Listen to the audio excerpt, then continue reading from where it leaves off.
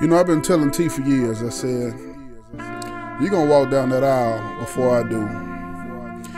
He said, no, man, it's going to be a while before I find that special someone. But I think today, probably going to be the biggest decision he ever made in his life. Now, I don't know if he's getting cold feet or what, but I hadn't seen him since last night. And man, what a night we had. But you know, today is a special day I mean, I love Lil T like a brother. I just hope he does the right thing.